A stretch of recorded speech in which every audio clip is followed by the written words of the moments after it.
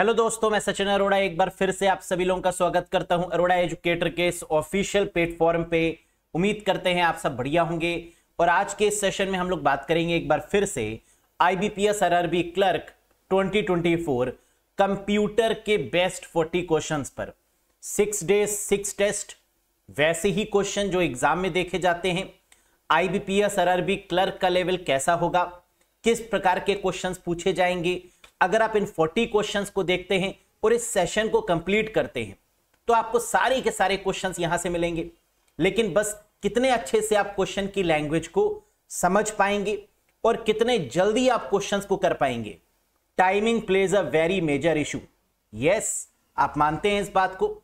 IBPS RRB PO में भी ये देखा गया कि क्वेश्चंस इतने मुश्किल नहीं थे, लेकिन टाइमिंग की वजह से और क्वेश्चन लंबे लंबे थे।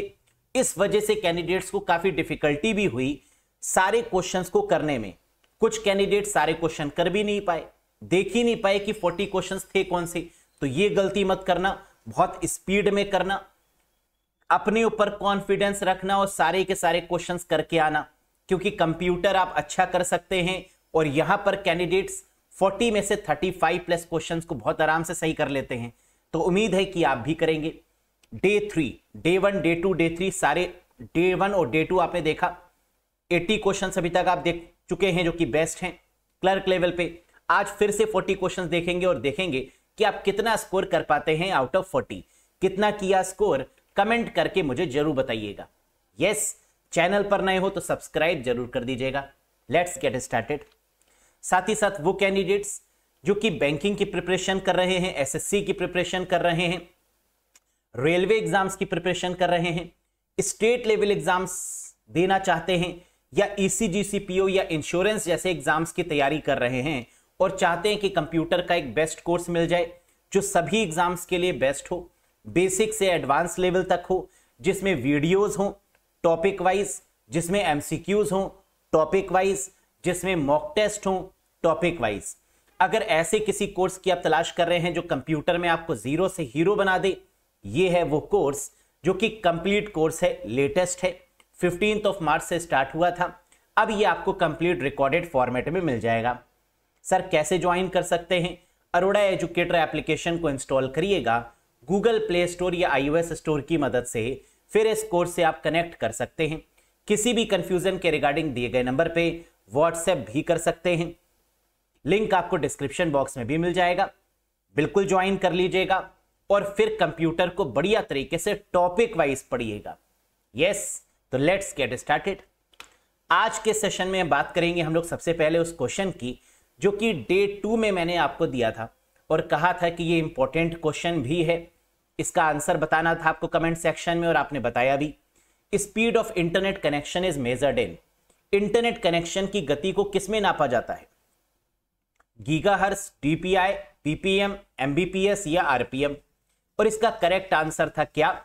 Mbps mega bit per second कितने एमबीपीएस की स्पीड आ रही है? है ना, यही तो हम लोग कहते हैं इंटरनेट के केस में। तो करेक्ट आंसर है option four Mbps megabit per second या Gbps giga bit per second मैंने आपसे यह भी कहा था कि बाकी स्पीड्स भी मुझे बताइए। गीगा हर्स किसके लिए यूज़ होता है? डीपीआई किसके लिए यूज़ होता है? पीपीएम का इस्तेमाल क्यों करते हैं और आरपीएम का? तो जरा एक बार देख लीजिए क्या इन सबकी नॉलेज आपके पास है या नहीं।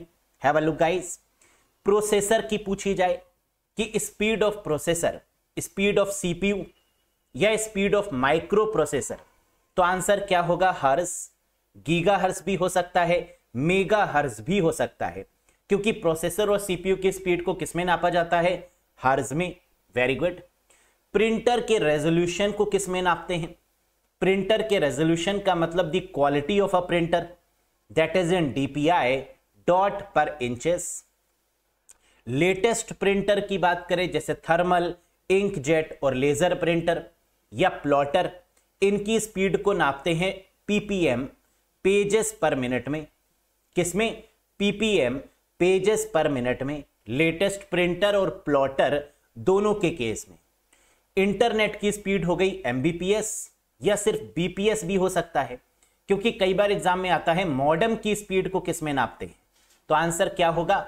बिट पर सेकेंड या फिर एमबीपीएस तो मॉडर्म की स्पीड को भी बीपीएस में नापते हैं बिट पर सेकेंड में, और इंटरनेट की स्पीड को एमबीपीएस या केबीपीएस में मेजर करते हैं। मेगा बिट पर सेकेंड और किलो बिट पर सेकेंड है ना? या गीगा बिट पर सेकेंड कुछ भी हो सकता है। बीपीएस होगा ही होगा। अब एक चीज़ और समझिएगा, कंप्यूटर में स्मॉल बी का मतलब होता है बिट और कैपिटल बी का मतलब होता है बाइट ये डिफरेंस याद रखिएगा। स्मॉल में बी लिखा हुआ है तो बिट और कैपिटल में बी लिखा हुआ है तो बाइट हार्ड डिस्क की स्पीड को किसमें मेजर करते हैं? आरपीएम रेवोल्यूशंस पर मिनट में। रेवोल्यूशंस पर मिनट में। पहला क्वेश्चन आज के सेशन का बताइएगा।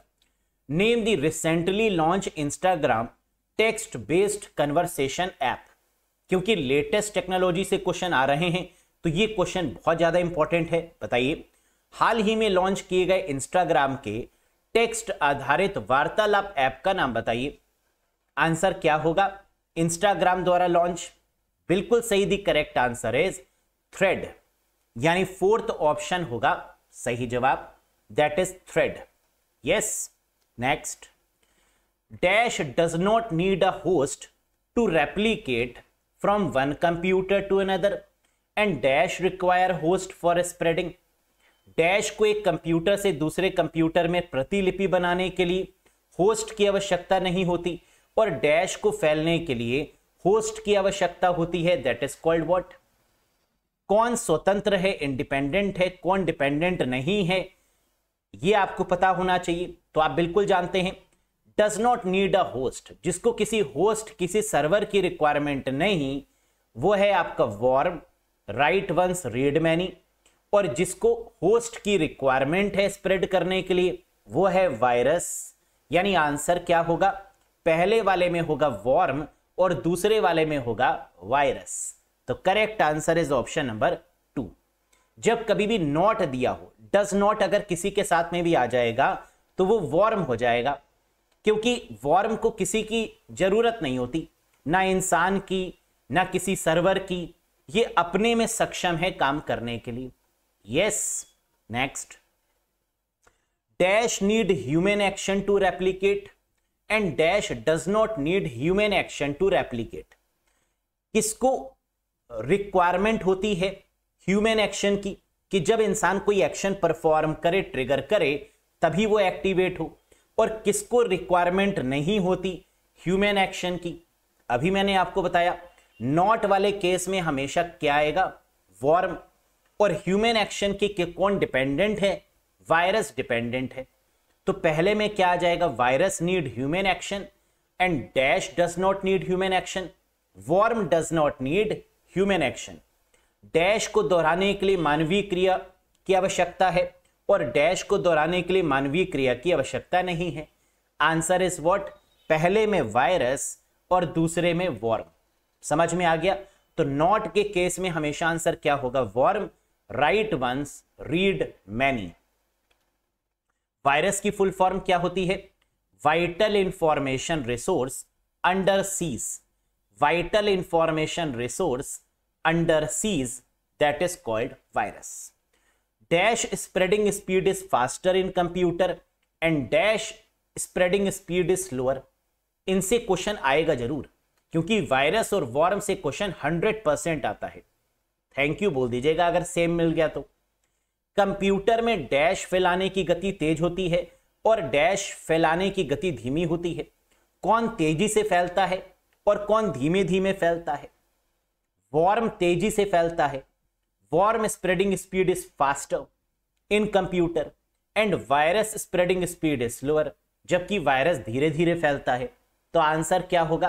पहले में होगा वॉर्म और दूसरे में होगा वायरस यानी fifth option is the right one लगा दो आंसर फास्टर के केस में हमेशा क्या होगा? वॉर्म और स्लोअर के केस में हमेशा क्या होगा? Virus next which of the following is a popular open source office suite. कह रहा है, इनमें से कौन सा बहुत ही popular open source office suite है? ओपन सोर्स का मतलब जो फ्री ऑफ़ कॉस्ट है, जिसमें बदलाव भी कर सकते हैं, वो ओपन सोर्स होता है। और ओपन सोर्स से बहुत सारे क्वेश्चन एग्ज़ाम में बनते हैं। जैसे ओपन सोर्स, सबसे पहला जो हमारा ब्राउज़र है, उसका नाम बताइए। Name the first open source web browser क्या होगा? Very good that is called Mozilla Firefox या सिर्फ़ फायरफॉक्स भी हो सकता है। है ना, ये पहला ओपन सोर्स ब्राउज़र है। Good open source office suite की बात करें, यानी एमएस ऑफ़िस का जो ऑल्टरनेट है और जो फ्री ऑफ़ कॉस्ट है that is called LibreOffice क्या लिब्रा ऑफ़िस कहीं गिवन है? यस फोर्थ हो जाएगा करेक्ट जवाब। लिब्रा ऑफ़िस जो पैकेज है, इसको किस कंपनी के द्वारा बनाया गया? यह भी याद रखिएगा। The Document Foundation MS Office किसने बनाया? माइक्रोसॉफ्ट ने। लेकिन एमएस ऑफ़िस क्या है? पेड है। फ्री नहीं है। वो अलग बात है कि आपको अपने लैपटॉप के साथ या अपने डेस्कटॉप या पीसी के साथ मिल गया हो, या अपने ऑपरेटिंग सिस्टम के साथ मिल गया हो, या आपने पायरेटेड यूज़ कर लिया हो। लेकिन जो एमएस ऑफ़िस है, वो पेड है। जो फ्री है, बिल्कुल वो क्या है? लिब्रा ऑफ़िस जो कि ओपन सोर्स है, जिसमें आप बदलाव भी कर सकते हैं। और इस लिब्रा ऑफ़िस को डिज़ाइन किया है किस कंपनी के द्वारा? दी डॉक्यूमेंट फाउंडेशन के द्वारा। याद रखिएगा। Next which of the following is a popular open source programming language मैंने कहा ना कि ओपन सोर्स बहुत इंपॉर्टेंट है और यहाँ से कम से कम दो तीन क्वेश्चन भी देखे जाते हैं। जरा बताइए कि popular open source programming language कौन सी है? निम्नलिखित में से कौन सी एक लोकप्रिय ओपन सोर्स प्रोग्रामिंग भाषा है? वेब ब्राउज़र तो मोजिला फायरफॉक्स हो गया, जो आपने बताया। लेकिन प्रोग्रामिंग लैंग्वेज कौन सी है? Python, Java C plus plus C sharp या विजुअल बेसिक आपके पार की नज़र और निर्मासों पर the correct answer is Python यानी सही जवाब होगा पाइथन जो कि मोस्ट पॉपुलर लैंग्वेज भी है और एक ऐसी लैंग्वेज भी है जो फ्री ऑफ़ कॉस्ट है और जिसमें चेंजेस भी पॉसिबल है एडिटिंग भी पॉसिबल है। That is called Python next which organization is known for promoting and supporting open source software development ऐसा कौन सा संगठन है जो ओपन सोर्स सॉफ्टवेयर विकास को बढ़ावा देने और समर्थन करने के लिए जाना जाता है? क्या कोई ऐसी ऑर्गेनाइजेशन भी है जिसको इसलिए अपॉइंट किया गया कि ज़्यादा से ज़्यादा चीज़ें ओपन सोर्स हो मार्केट में, ताकि लोग डिजिटल की तरफ़ बढ़ पाए? फ्री ऑफ़ कॉस्ट होगा तो ज़्यादातर लोग इसका इस्तेमाल करेंगे। आंसर क्या होगा? आईबीएम माइक्रोसॉफ्ट जीएनयू ओरेकल या सोनी। सनी लियोनी नहीं दैट इज़ सोनी। क्या होगा answer? Very good and the correct answer is G N U G N U ने ही लाइनेक्स को ओपन सोर्स करने पर मजबूर किया। इस ऑर्गेनाइजेशन का नाम क्या है, जो प्रमोट करती है ओपन सोर्स सॉफ्टवेयर डेवलपमेंट जिसने मोजिला फायरफॉक्स को भी ओपन सोर्स होने पर मजबूर किया और प्रेशराइज किया कि ऐसे कई सॉफ्टवेयर होने चाहिए जो ओपन सोर्स हो। चाहे वो पाइथन ही क्यों ना हो। And the answer is G N U next what is the most common open source operating system सबसे आम ओपन सोर्स ऑपरेटिंग सिस्टम कौन सा है? जरा ये भी तो बताइए। क्या कोई ऐसा ऑपरेटिंग सिस्टम भी है जो ओपन सोर्स है? लाइनेक्स एंड्रॉयड यूनिक्स विंडोज़ या मैक ऑपरेटिंग सिस्टम क्या आता है, बताएँगे नहीं। बिल्कुल सही। The correct answer is Linux क्या एंड्रॉइड भी ओपन सोर्स है? यस एंड्रॉइड भी तो लाइनेक्स पर बेस्ड है। तो एंड्रॉइड भी ओपन सोर्स है और लाइनेक्स भी ओपन सोर्स है। क्या यूनिक्स ओपन सोर्स है? ना। क्या विंडोज़ नहीं। क्या मैक ऑपरेटिंग सिस्टम मैकिनटोश जी नहीं। इसका मतलब जब सर लाइनेक्स भी है और एंड्रॉइड भी है और एंड्रॉइड लाइनेक्स पर ही बेस्ड है और कॉमन पूछ रहा है तो आंसर क्या होगा? लाइनेक्स लाइनेक्स और एंड्रॉइड में से अगर किसी एक को चुनना पड़े तो आंसर क्या होगा? दैट इज़ लाइनेक्स एंड्रॉइड के कुछ ऐसे वर्जन हैं जो कि पेड हैं। कुछ ऐसे वर्जन हैं जो कि ओपन सोर्स है। इसलिए एंड्रॉइड को प्योर ओपन सोर्स की कैटेगरी में नहीं रखते। इसलिए जो सही आंसर होगा, वो क्या होगा? Linux is the correct answer developed in 1991 by Linus Torvalds किसने इसको डेवलप किया? मिस्टर लाइनस टोरवाल्ड ने।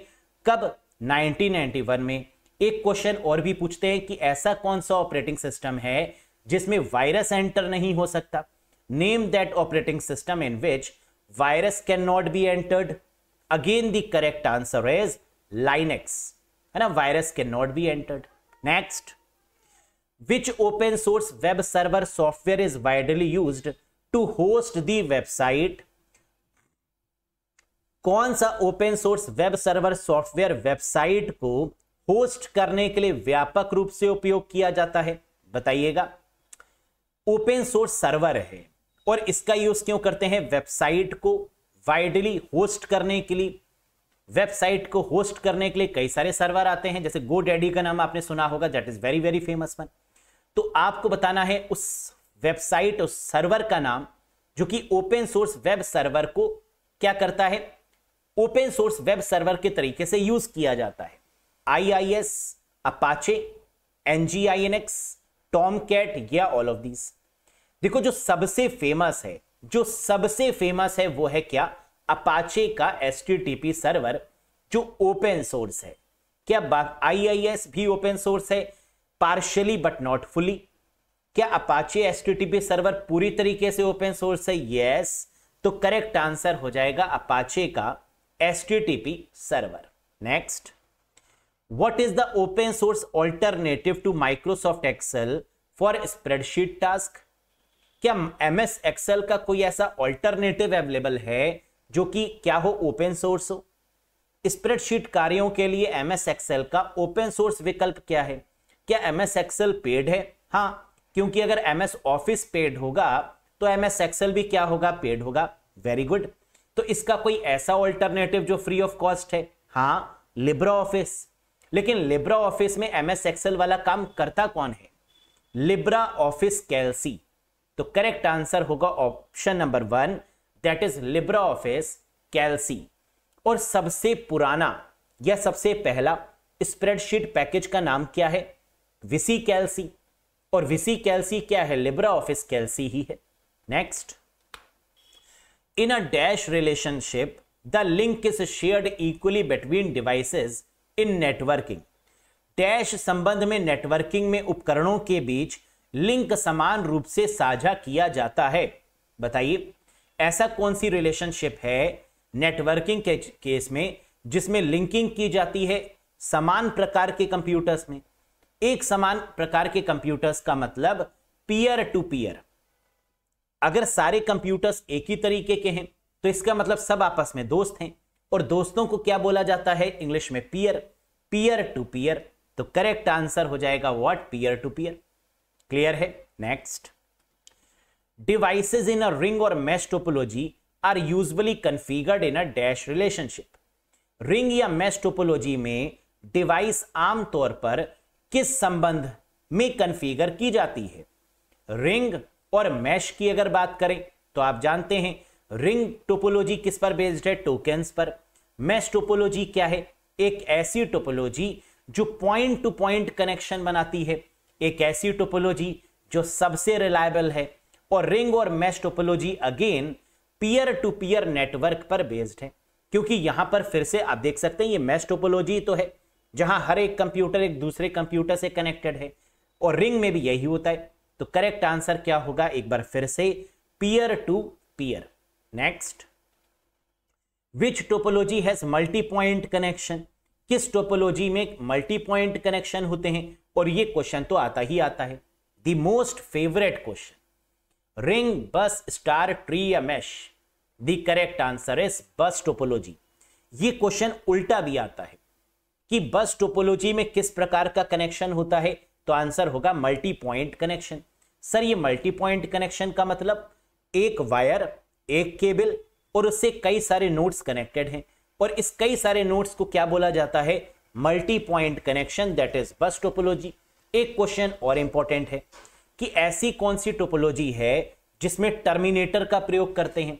Name that topology in which terminator is use again the answer is bus topology terminator किसको बोलते हैं? बस टोपोलॉजी में जो दोनों सिरे होते हैं। Opening end and the closing end these both ends are called as terminator जिससे कि यह पता चले कि जो केबल है, उसकी शुरुआत किससे हुई? तो एक टर्मिनेटर वहाँ लगा दिया जाता है। उसका अंत कहाँ हो रहा है? एक टर्मिनेटर वहाँ लगा दिया जाता है। तो that is what we call terminators which describes the opening and closing of the cable next the topology which requires a central controller or hub is called वह टोपोलॉजी जिसके लिए केंद्रीय नियंत्रक या हब की आवश्यकता होती है, उसे क्या बोलते हैं? तो हब का इस्तेमाल किस टोपोलॉजी में होता है? आप जानते हैं, किसमें? रिंग में, बस में, स्टार में, ट्री या mesh? Star topology is the correct answer जब कभी भी हब की बात की जाएगी तो हमेशा आंसर क्या होगा? Star topology. और ये उल्टा भी आता है कि स्टार टोपोलॉजी में किस सेंट्रल डिवाइस का यूज़ करते हैं? या स्टार टोपोलॉजी में किस नेटवर्किंग डिवाइस का यूज़ करते हैं? तो आंसर क्या होगा हब? आंसर क्या होगा हब? और क्या आप ये बात जानते हैं कि हब किस प्रकार की डिवाइस है? यस ब्रॉडकास्टिंग डिवाइस जो एक मैसेज को सभी पर भेज देती है है ना? ब्रॉडकास्ट कर देती है। That is called broadcasting device a hub which is use in the star topology next topology होता क्या है?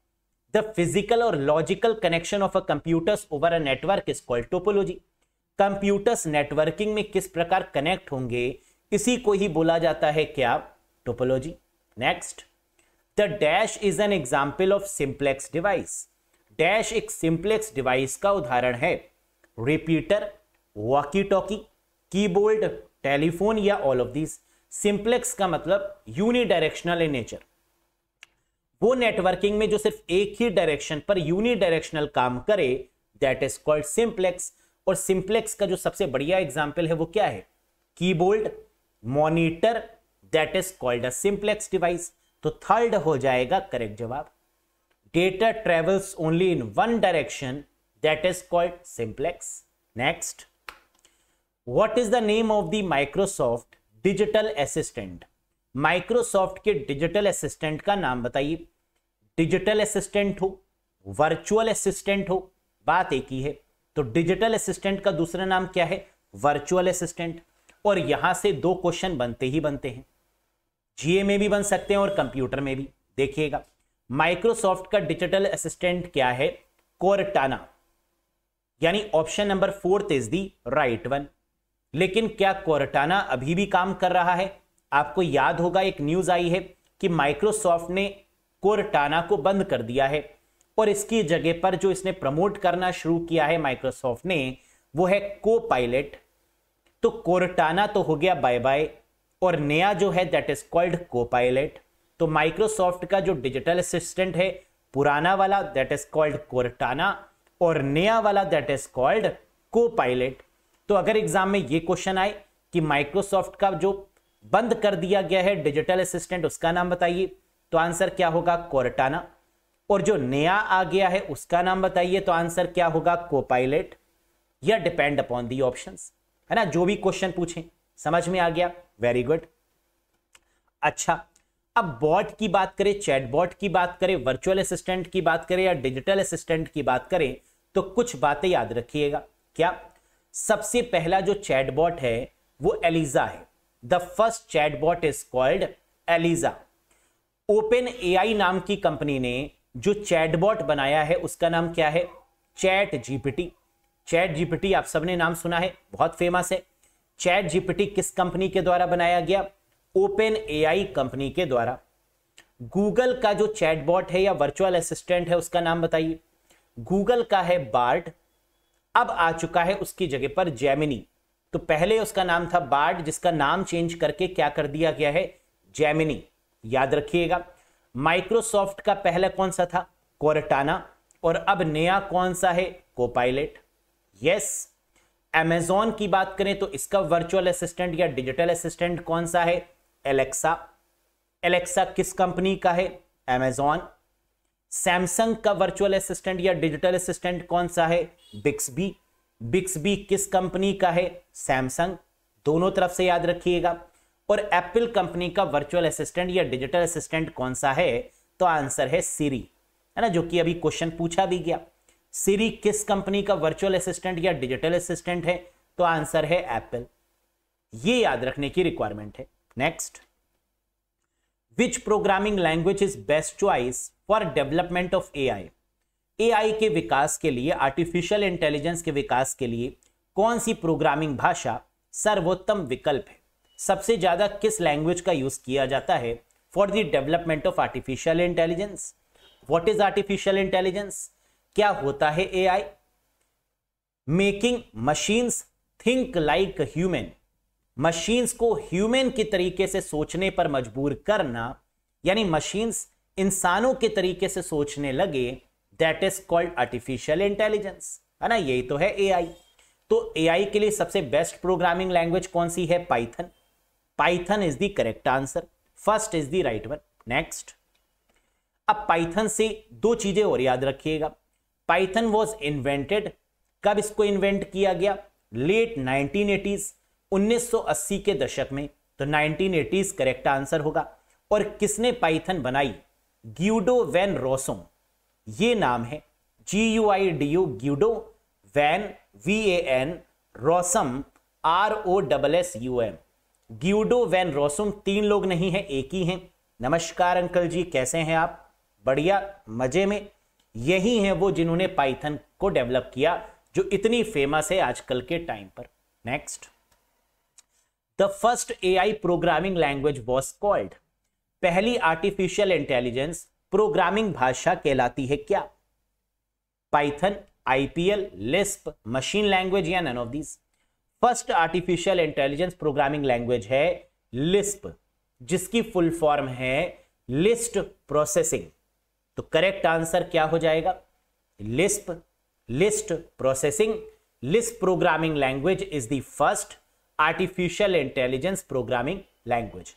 Languages तो बहुत सी हैं जो एआई को सपोर्ट करती हैं पाइथन भी है, जो बहुत सपोर्ट करती है सी प्लस प्लस भी है जावा भी है जावा स्क्रिप्ट भी है आर भी है तो ऐसी बहुत सारी हैं जो एआई को सपोर्ट करती हैं। लेकिन पहली जो है वो क्या है? लिस्ट लिस्ट प्रोसेसिंग प्रोलॉग भी है, जो कि बहुत यूज़ की जाती है आर्टिफिशियल इंटेलिजेंस के लिए, जिसकी फुल फॉर्म होती है programming in logic Prolog next अच्छा अगर ये पूछें कि पहली हाई लेवल लैंग्वेज का नाम बताइए तो आंसर क्या होगा? Name the first high level language very good and the answer is FORTRAN formula translation, पहली हाई लेवल लैंग्वेज और पहली scientific language that is called FORTRAN next which is not the commonly use programming language for A I A I के लिए आमतौर पर उपयोग की जाने वाली प्रोग्रामिंग भाषा कौन सी नहीं है? कौन सी है पहली? तो आपने कहा लिस्प लिस्ट प्रोसेसिंग और कौन सी नहीं है? तो आंसर है पर्ल ये नहीं है। Perl is not use for the artificial intelligence AI के लिए पर्ल प्रोग्रामिंग लैंग्वेज का प्रयोग नहीं किया जाता।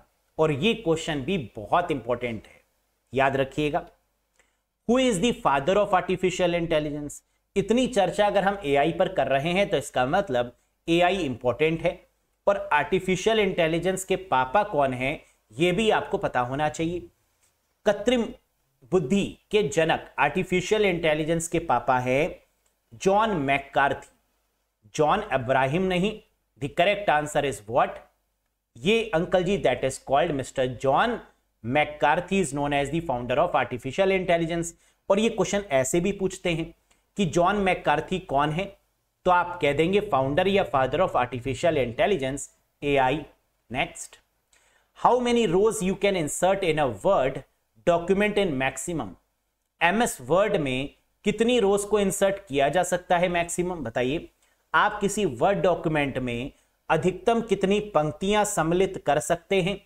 The correct answer is three two seven six seven thirty two thousand seven hundred sixty seven fourth option is the correct one very good next to insert chart in M S Excel which shortcut की is use M S Excel में chart डालने के लिए किस shortcut की का प्रयोग करते हैं? एम एस में चार्ट को इंसर्ट करने के लिए किस ऑप्शन का यूज़ करते हैं? इंसर्ट टैब का। है ना? वहाँ से चार्ट को इंसर्ट कर सकते हैं।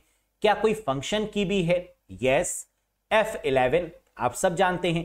F eleven is use for the insert chart purpose in M S Excel और एफ़ ट्वेल्व की मदद से save as dialog box open होता है। लेकिन क्या इसके अलावा भी कोई फंक, कोई की है जिसकी मदद से हम चार्ट को इंसर्ट करते हैं? Yes alt plus F one answer क्या होगा? ऑल्ट प्लस एफ़ वन भी सही है और अगर एफ़ इलेवन दिया हो तो यह भी सही है। समझ में आया? अच्छा एफ़ टू का यूज़ क्यों करते हैं एक्सेल में? यह भी बताइए। Why we use F two in M S Excel very good to edit a cell cell को एडिट करने के लिए एफ़ टू का यूज़ करते हैं। लेकिन क्या F2 का यूज़ फ़ाइल और फोल्डर को रीनेम करने के लिए भी करते हैं? Yes we use F2 to to rename any file और अ फोल्डर F3 का यूज़ नॉर्मली कब करते हैं? बताइए शिफ्ट के साथ F3 का यूज़ करते हैं फॉर चेंज केस पर्पस अगर हमें चेंज केस करना है तो शिफ्ट के साथ F3 करेंगे. नॉर्मल F3 का यूज़ हम लोग करते हैं किस पर्पज से? जल्दी से बताइए सर्च करने के लिए. Normally F3 is use for the search purpose F4 is use for which purpose to repeat the last action perform F4 का यूज़ ये कि बहुत इंपॉर्टेंट है। ये तो पूछते ही पूछते हैं कि F4 का यूज़ क्यों करते हैं? To repeat the last action perform repeat last action perform करने के लिए किस फ़ंक्शन की का यूज़ करते हैं? F4 yes next title bar in M S Excel displays name of the M S Excel में टाइटल बार किसका नाम प्रदर्शित करता है? सोचिए। टाइटल बार मतलब सबसे ऊपर वाली बार। इसमें क्या क्या होता है? मिनिमाइज, मैक्सिमाइज, क्लोज बटन और वर्क बुक का नाम। बुक वन के नाम से। तो करेक्ट आंसर क्या होगा? दैट इज़ वर्क बुक और नेम क्या होता है? बाय डिफ़ॉल्ट वर्क बुक का। बुक वन, शीट का नाम पूछें कि बाय डिफ़ॉल्ट शीट का नाम क्या होगा? तो शीट वन, एक शीट होती है लेटेस्ट वर्जन में और उसका नाम क्या होगा? शीट वन लेकिन एम एस एक्सएल का जो फ़ाइल होती है, उसका बाय डिफ़ॉल्ट नाम क्या होता है? बुक वन और इसे बोलते क्या है? वर्कबुक वर्कबुक किसका कलेक्शन है? वर्कशीट्स का. Very good in assembly language symbols are used instead of binary code these symbols are called assembly language किस जनरेशन में आती है? जल्दी से बताइए। In which generation assembly language is use second generation क्या assembly language low level language है? Yes sir assembly language is called a low level language क्योंकि लो लेवल लैंग्वेजेस में दो लैंग्वेजेस आती हैं। एक मशीन और बाइनरी और दूसरी असेंबली असेंबली लैंग्वेज में किसका यूज़ होता है? निमोनिक्स का। क्या निमोनिक्स गिवन है? Yes option one is the correct answer next what displays the content of active cell? Cell की बात हो रही है, यानी एम एस एक्सएल की बात हो रही है। और एम एस एक्सएल का जो कंटेंट है वो कहाँ दिखता है? फॉर्मूला बार में? क्या फॉर्मूला बार गिवन है? यस यानी third option is the right answer formula bar में क्या दिखता है? ये भी क्वेश्चन आता है उल्टा करके। तो आंसर क्या हो जाएगा? Content of active cell active cell का कंटेंट जहाँ दिखता है वो फॉर्मूला बार है और एक्टिव सेल का एड्रेस जहाँ दिखता है वो नेम बॉक्स है। तो what display the address of the active cell? Name box. And what display the content of the active cell? Formula bar. Very good. Formula या फ़ंक्शन शुरू किससे होता है? इक्वल्स टू से। और एक्सेल शीट में कौन कैटिनेट करने के लिए, जोड़ने के लिए सेल्स को किसका यूज़ करते हैं? किस सिंबल का यूज़ करते हैं? एम्परसेंड का। एम एस एक्सेल में सेल रेफरेंसिंग के लिए किस सिंबल का यूज़ करते हैं? डॉलर का। और सेल रेफरेंसिंग कितने तरीके की होती है? सर, तीन तरीके की। जय Shri Ram. R A M relative absolute और mixed very good which of the following is not a valid zoom percentage in Excel निम्नलिखित में से कौन सा एक्सेल में वैध जूम प्रतिशत नहीं है? एक्सेल में जो मैक्सिमम जूम परसेंटेज है वो कितना है? 400 तक। यस मैक्सिमम 400 तक ही जूम कर सकते हैं, उसके बाद नहीं। तो 400 के बाद क्या कुछ गिवन है? हाँ 500 hundred that is not possible तो करेक्ट आंसर हो जाएगा 500 hundred is not possible minimum कितना होता है एक्सेल में? 10 परसेंट। सभी में 10 परसेंट होता है मिनिमम वर्ड एक्सेल और पावर पॉइंट में। बाय डिफ़ॉल्ट सभी में कितना होता है? 100 परसेंट। वर्ड एक्सेल और पावर पॉइंट में। लेकिन मैक्सिमम के केस में एम एस वर्ड में 500 एक्सेल और पावर पॉइंट के केस में 400 percent very good which of the following provides reliable communication निम्नलिखित में से कौन विश्वसनीय संचार प्रदान करता है? रिलायबल कम्युनिकेशन का मतलब टिकाऊ टिकाऊ का मतलब टीसीपी ट्रांसमिशन कंट्रोल प्रोटोकॉल और अनरिलायबल आ जाता। कि इनमें से कौन सी अनरिलायबल है? तो आंसर क्या हो जाता? आईपी या UDP, user datagram protocol is unreliable in nature. TCP slow but reliable है ना, जो रिलायबल होगा, वो थोड़ा सा स्लो होगा. जो नॉट रिलायबल होगा, वो फास्ट होगा. Getting the point next which file is responsible to start M S PowerPoint MS PowerPoint शुरू करने के लिए कौन सी फ़ाइल जिम्मेदार है? क्या शॉर्टकट है? पावर पॉइंट को ओपन करने का. पावर डॉट ई या पावर पीएनटी भी बोल सकते हैं। क्या पावर पीएनटी गिवन है? Yes option second is the right answer तो power E is the shortcut to open the PowerPoint file MS Word की फ़ाइल को ओपन करने का शॉर्टकट क्या है? Win word dot E XE win word dot E XE very good in M S Word twenty twenty one to use the spelling and grammar option one has to click on the dash tab बहुत प्यारा question and within the dash group click on spelling and grammar बताइए M S Word 2021 में वर्तनी और व्याकरण विकल्प का उपयोग करने के लिए किस टैब पर क्लिक करेंगे? और डैश समूह के भीतर वर्तनी और व्याकरण पर क्लिक करना होगा. तो हम जा, जानते हैं कि स्पेलिंग और ग्रामर की बात करें थेसोरस की बात करें या वर्ड काउंट की बात करें. Control shift G word count इन सभी के लिए रिव्यू टैब का यूज़ करते हैं। और रिव्यू के अंदर क्या होता है? प्रूफिंग जिसमें हमें ये तीनों चीज़ें देखने को मिलती हैं। स्पेलिंग ग्रामर थेसोरस और वर्ड काउंट तो करेक्ट आंसर होगा रिव्यू और प्रूफिंग यानी second option is the right answer very good आप देख भी सकते कि रिव्यू टैब में क्या क्या मिलता है? प्रूफिंग के अंदर स्पेलिंग एंड ग्रामर थेसोरस और वर्ड काउंट स्पीच को ऑप्शन रीड अलाउड जो आप बोलेंगे वो लिख जाएगा। Accessibility check accessibility language comment ये सारे कहाँ मिलते हैं? रिव्यू में। और व्यू में क्या मिलता है? जल्दी से बताइए। व्यू में नंबर ऑफ़ व्यूज़ जितने गिवन है वो मिलेंगे। और इसके साथ में मैक्रोस का ऑप्शन मिलेगा जो कि बहुत पूछा जाता है। मैक्रोस जिसका काम क्या है? रेपिटेटिव टास्क को रिकॉर्ड करना। मैक्रोस के लिए शॉर्टकट की क्या है? जल्दी से बताइए। Very good alt plus F eight और मैक्रोज में यूज़ होने वाली जो प्रोग्रामिंग लैंग्वेज है, कितने तेज हैं आप? VBA is the correct answer बहुत बढ़िया। विजुअल बेसिक फॉर एप्लीकेशन आगे बढ़ते हैं। A single packet on a data link is known as data link पर एकल पैकेट को डैश रूप में जाना जाता है। डेटा लिंक लेयर कौन सी लेयर है ओएसआई मॉडल में? सर पहली फ़िज़िकल है, दूसरी डेटा लिंक है, यानी सेकंड डेटा लिंक लेयर किस पर काम करती है? बहुत बढ़िया। मैक एड्रेस पर काम करती है। और डेटा लिंक लेयर की बात करें तो इसका काम क्या है? एरर को कंट्रोल करना डेटा लिंक लेयर का सबसे इंपॉर्टेंट काम है। और डेटा लिंक लेयर में डेटा किस फॉर्मेट में ट्रेवल करेगा? इसकी पीडीयू क्या है? इसकी प्रोटोकॉल डेटा यूनिट क्या है? दैट इज़ फ्रेम्स क्या फ्रेम कहीं गिवन है? हाँ, यानी सेकंड हो जाएगा करेक्ट जवाब। फ़िज़िकल लेयर में बिट्स के फॉर्मेट में डेटा लिंक लेयर में फ्रेम्स नेटवर्क लेयर में पैकेट ट्रांसपोर्ट लेयर में सेगमेंट और सेशन प्रेजेंटेशन एप्लीकेशन लेयर में डेटा डेटा डेटा। क्या बात है बेटा। Next what is pre release software version called बताइए। पूर्व रिलीज़ सॉफ्टवेयर संस्करण को क्या कहा जाता है? सॉफ्टवेयर वर्जन जब रिलीज़ होता है तो क्या उससे पहले कुछ आता है? तब उसको रिलीज़ किया जाता है। Yes yes. और क्या आता है? बीटा वर्जन क्या बीटा गिवन है? Yes yes. लगा दो आंसर तो कोई भी सॉफ्टवेयर रिलीज़ करने से पहले उसकी टेस्टिंग होती है, and that testing version is called as beta version.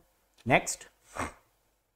What is the shortcut key for 1.5 line spacing in MS Word 2021? MS Word 2021 में 1.5 लाइन स्पेसिंग के लिए शॉर्टकट कुंजी क्या है वेरी गुड क्वेश्चन और आएगा ही आएगा कंफर्म है ये आएगा कंट्रोल प्लस फाइव 1.5 के लिए जो स्पेसिंग यूज़ होती है वो क्या है one control plus five for 1.5 line spacing फिर से याद रखिए control plus five for 1.5 line spacing और कितनी लाइन स्पेसिंग दी जा सकती है? वन इंच बाय डिफ़ॉल्ट जो होती है 1.15 1.5 2.0 2.5 3.0 next diameter of a compact disc CD और डीवीडी ये किसमें आती है? ऑप्टिकल डिस्क के केस में। ऑप्टिकल डिस्क में CD compact disc DVD digital versatile disc या ब्लू रे डिस्क आती है। ब्लू रे डिस्क जो होती है, उसकी कैपेसिटी कितनी है? कितना उसमें डेटा स्टोर किया जा सकता है बीआरडी के केस में?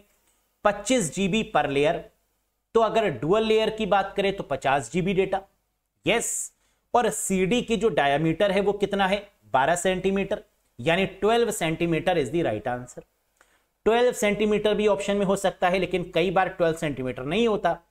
120 ट्वेंटी mm होता है तो ये हो जाएगा करेक्ट आंसर या 4.75 इंच होती है तो ये हो जाएगा करेक्ट आंसर डिपेंड करेगा ऑप्शन में क्या गिवन है। 12 सेंटीमीटर 120 ट्वेंटी mm या 4.75 inch these three is the correct answer CD DVD या ऑप्टिकल डिस्क किस टेक्नोलॉजी पर काम करती है? पिट्स एंड लैंड्स और यहाँ पर जो डेटा स्टोर होता है वो किस फॉर्मेट में? लेजर के फॉर्मेट में। Very good name the desktop database application that is part of MS Office suite उस डेस्कटॉप डेटाबेस एप्लीकेशन का नाम बताइए, जो एमएस ऑफ़िस सूट का हिस्सा है। एमएस एक्सेस है।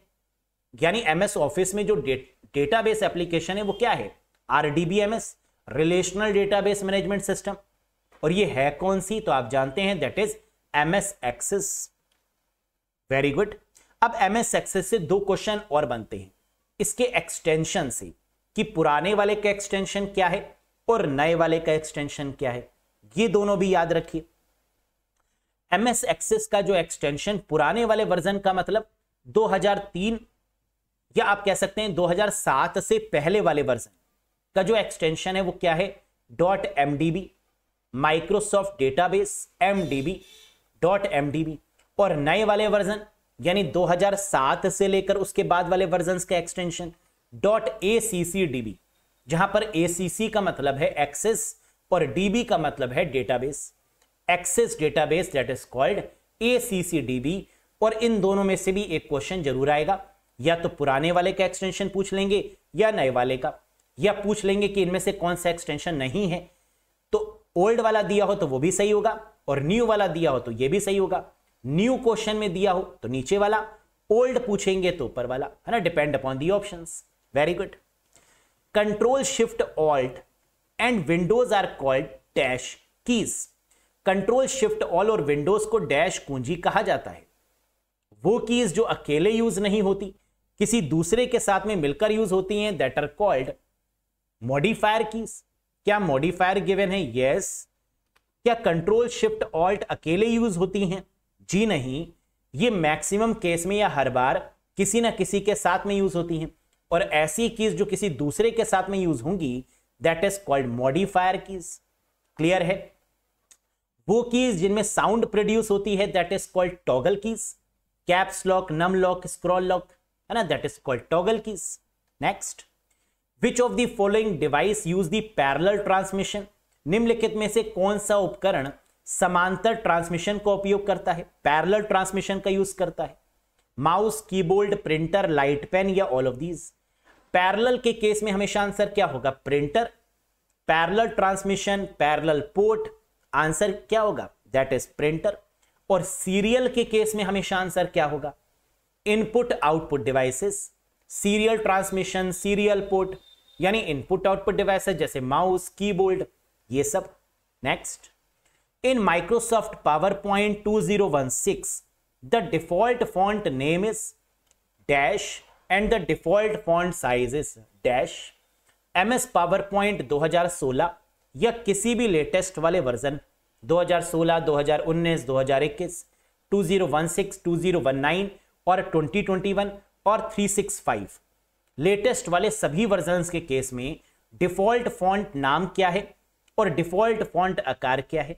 The correct answer is Calibri light with 18 point Calibri light with 18 point in all new versions either it is 2007 either it is the, we can say, जितने भी latest version है, जैसे for example 2013 2013 2016 2019 2021 या 365 इन सभी के case में जो answer बनेगा वो क्या बनेगा?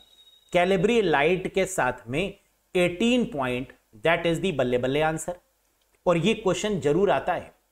यहाँ कैंडिडेट आंसर क्या लगाकर आते हैं पता है? नया वर्जन देखकर कैलिब्री के साथ में 11 पॉइंट, क्योंकि ऐसा ही होता है एमएस वर्ड और एक्सेल के केस में। कैलिब्री के साथ में 11 ये नए वर्जन और पुराने वर्जन के केस में टाइम्स न्यू रोमन के साथ 12 लेकिन पावर पॉइंट का खेला अलग है। यहाँ पर कैलिब्री लाइट के साथ में 18 point is the correct answer next one GB is equals to dash byte एक जीबी कितने बाइट्स के बराबर है? जीबी का मतलब billion one GB is equals to one billion byte means third option is the right one एक TB एक trillion byte के बराबर। एक एमबी मिलियन बाइट के बराबर। और एक जीबी बिलियन बाइट के बराबर होता है। Very good next press dash to move the next cell in row in MS Excel MS Excel में पंक्ति के अगले सेल पर जाने के लिए किसका यूज़ करेंगे? अगर सेल में शिफ्ट होना है तो किसका यूज़ करेंगे? टैब का। क्या टैब गिवन है? Yes first option is the right one next the space left between the margin and the start of a paragraph is called ये क्वेश्चन तो आएगा ही आएगा। कंफर्म है, ज़रूर आता है ये क्वेश्चन। मार्जिन और पैराग्राफ की शुरुआत के बीच छोड़ी गई जगह क्या कहलाती है?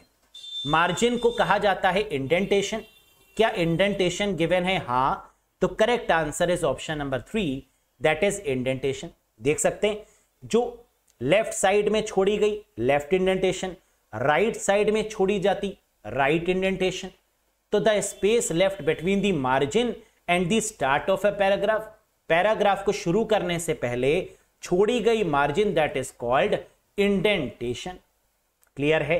तो 40 क्वेश्चंस कंप्लीट आउट ऑफ़ 40 कितना स्कोर किया? कितने सही क्वेश्चंस किए?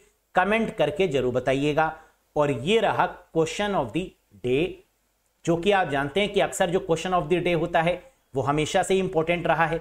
बताइए which protocol is use to automatically assign TCP IP configuration information TCP IP configuration जानकारी को स्वचालित रूप से निर्दिष्ट करने के लिए किस प्रोटोकॉल का उपयोग करते हैं? ऑप्शन हैं डीएचसीपी नेटबायोस नेटलिंक एफटीपी या आता है बताएँगे नहीं? क्या होगा इसका करेक्ट आंसर अगर पता है तो ज़रूर बताइएगा कमेंट सेक्शन में। देखना चाहता हूँ मैं भी। कि आप कितनी चीज़ों को याद रख सकते हैं। हैव अ लुक सेशन अगर पसंद आया हो तो लाइक कर दीजिएगा। चैनल पर नए हो सब्सक्राइब कर दीजिएगा। और चाहते हैं कोई ऐसा बैच लेना, जो कि ब्रह्मास्त्र हो कंप्यूटर के पॉइंट ऑफ़ व्यू से, सारे एग्ज़ाम्स को क्लियर करे ज्वाइन कर लीजिएगा IBPS RRB PO clerk full computer course in which concept MCQs videos PDF mock test topic wise देखने को मिलेंगे। क्लियर है? कोई कंफ्यूजन कोई डाउट है, दिए गए नंबर पे व्हाट्सएप कर सकते हैं। लिंक आपको डिस्क्रिप्शन बॉक्स में ही मिल जाएगा। एप्लीकेशन को इंस्टॉल कर लीजिएगा गूगल प्ले स्टोर या आईओएस स्टोर की मदद से। कैसा लगा आपको आज का सेशन कॉन्फिडेंस इंक्रीज हो रहा है। लग रहा है कि 40 के 40 क्वेश्चन को तोड़ेंगे इस बार। है ना? और आप करते भी हैं। टैलेंटेड हैं, लेकिन घमंड नहीं करते। यही तो खास बात है आप में। है ना? You have skills pre cleared इतना आसान तो नहीं था। किया ना आपने तो आप कर सकते हैं हैव ट्रस्ट ऑन यू आप कुछ भी कर सकते हैं। तो that's all for today guys बहुत जल्द मिलेंगे नेक्स्ट फोर्टी क्वेश्चंस के साथ। उम्मीद है इस सेशन से आपने काफ़ी कुछ रिवाइज किया होगा और काफ़ी कुछ नया भी सीखने को मिला होगा। Bye and take care